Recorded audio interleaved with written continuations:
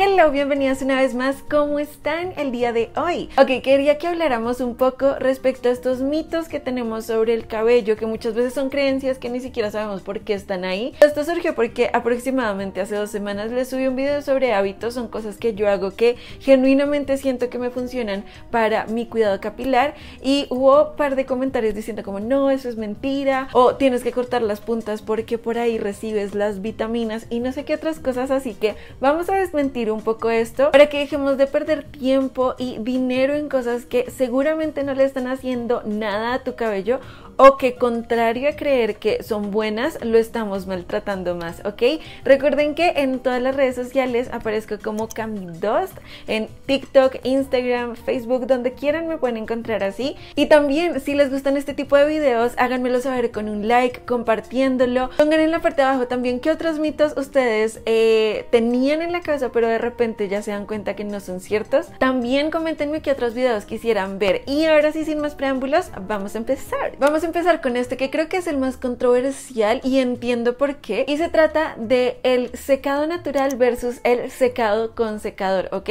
Yo también fui de las que por mucho tiempo creyó que si dejaba secar mi cabello durante 4 o 5 horas era mucho mejor a exponerlo a una herramienta de calor como el secador. Ahora, si bien es cierto que todas las herramientas de calor maltratan, no todas maltratan con la misma intensidad y si las usamos de la manera correcta podemos evitar más daño a nuestro cabello. ¿Por qué les digo todo esto? Se hizo un estudio justo donde querían evaluar qué tanto se maltrataba el cabello secado naturalmente versus secado con secador. Lo pusieron a diferentes temperaturas. Les voy a dejar el link en la parte de abajo para que ustedes puedan leerlo con más detenimiento, pero sorpresivamente la conclusión fue que si bien el cabello sí presenta cierto maltrato en la cutícula, que es la parte externa del cabello, donde realmente se encontró daño en el complejo de la membrana celular, fue en el cabello que se dejó secar naturalmente. Y esto lo hablamos en el video de hábitos que entre más tiempo tú dejas secar el cabello de manera natural, pasa más tiempo sensible y vulnerable a cualquier cosa que lo pueda maltratar, de manera que se quiebra con más facilidad. Así que según todo esto, sí es mejor secar el cabello con el secador. Ahora, ¿cómo deberías hacerlo? Primero, es un no negociable el termoprotector. Sí o sí lo tienes que usar siempre que vayas a utilizar cualquier herramienta, así uses el secador en temperatura media o en temperatura fría, igual utiliza termoprotector. Y lo segundo es retirar la mayor cantidad de humedad primero con el secador, moviéndolo continuamente y en una temperatura media o fría, ¿ok? Ya cuando el cabello esté 90% seco, lo que puedes hacer es terminar, ahora sí, de estilizarlo con el secador un poquito más cerca, dejar que ese 10% se seque naturalmente y ya puedas hacer tu peinado o lo que quieras. Así que en resumen, sí, el cabello se maltrata menos si lo secas con secador que si lo dejas secar de manera natural. Otro mito súper común es que entre más nos cortemos las puntas, más nos va a crecer el cabello. Yo sé que ustedes han escuchado esto, yo también lo he escuchado muchas veces y lo cierto es que lo único que hace el cortar las puntas es evitar que el cabello se vea más dañado. Usualmente donde más se nota la resequedad, la falta de hidratación, el uso de la plancha es en las puntas. Entonces cuando te cortas las puntas, claramente el cabello se va a ver más sano, pero eso no va a afectar el ciclo de crecimiento de tu cabello. Y de hecho, gran parte de lo que hace que tu cabello crezca está determinado genéticamente y no es algo que se pueda modificar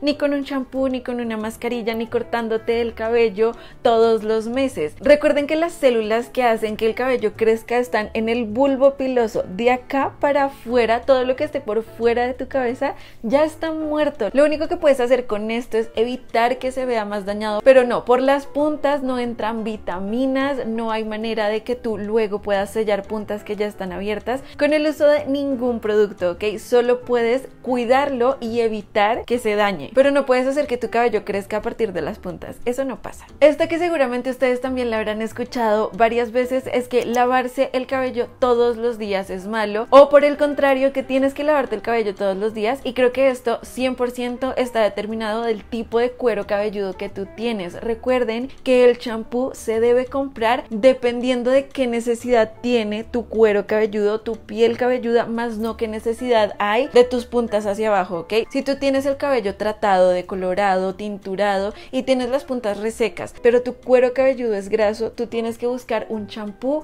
que limpie a profundidad tu cuero cabelludo y luego para la parte de las puntas puedes buscar algún tratamiento que te ayude a sellar la fibra capilar para que no se vea tan reseco, ¿ok? Y de hecho, si tu cuero cabelludo es muy graso, sería muy recomendable que lavaras tu cabello todos los días para que puedas evitar problemas como caspa o dermatitis seborreica. El siguiente que yo en algún punto también llegué a considerarlo porque yo amo el agua caliente es que el agua caliente no maltrata tu cabello o no le hace absolutamente nada malo y esto tristemente es falso, ¿ok? Yo pensaba que si lavas tu cabello con agua caliente no pasaba nada. Recuerden que cuando el cabello está mojado la cutícula se levanta y si lo estás lavando con agua muy caliente vas a arrastrar todos los aceites naturales del cabello haciendo que el cabello te quede reseco, con frizz, quebradizo, etcétera. Entonces lo mejor sería que lo lavaras con agua fría. Entre más fría puedas hacerlo, mucho mejor. Además que el agua fría tiene muchos beneficios como sellarlo, que quede mucho más brillante, porque la cutícula no va a quedar levantada. Obviamente además de eso utilizando tu rutina capilar adecuada, pero sí el agua caliente sí puede maltratar bastante tu cabello, puede ser de los mayores causantes del frizz en tu cabello. Este otro mito es que el lavar o cepillar tu cabello con frecuencia va a hacer que se te caiga más. Como les decía anteriormente, el cabello tiene un ciclo siempre donde nace, va creciendo y sí o sí llega un momento donde el cabello se cae. Es normal que a todos se nos caiga el cabello. Dicen que lo normal es que se caigan de 150 a 200 cabellos diarios aproximadamente. Nuestro cabello también muda, entonces el hecho de que lo peines con mayor o menor frecuencia solo hace que veas los cabellitos que ya se habían caído pero que por alguna razón seguían enredados. Simplemente los estás viendo en tu cepillo o al momento de lavar, pero la frecuencia de lavado y de cepillado no tienen relación con que tantos cabellos pierdes diariamente. Vamos con este mito que sé que es de amores u odios. Yo sé que hay personas que así no haya evidencia científica de que esto funciona igual, genuinamente sienten que les funciona y estoy hablando de añadirle cualquier cosa tu shampoo.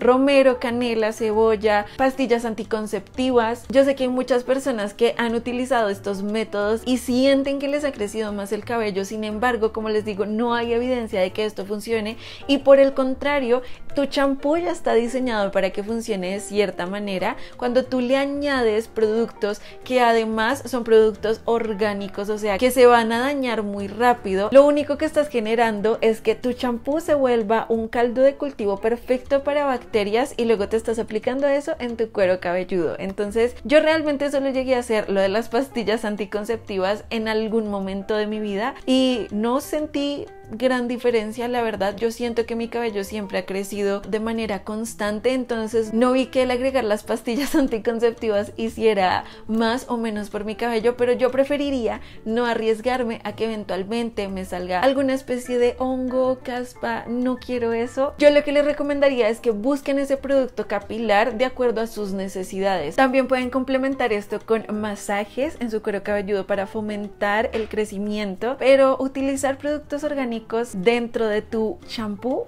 no. Y el último mito es que después de que tengas las puntas llenas de orzuela se pueden sellar.